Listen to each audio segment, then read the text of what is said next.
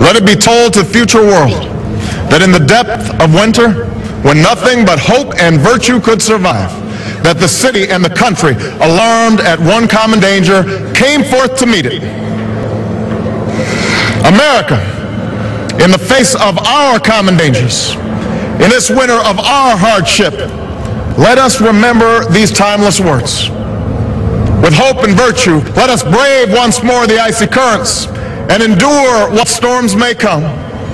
Let it be said by our children's children that when we were tested, we refused to let this journey end. That we did not turn back, nor did we falter.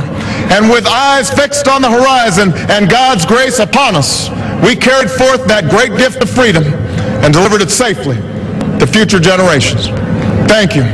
God bless you. And God bless the United States of America.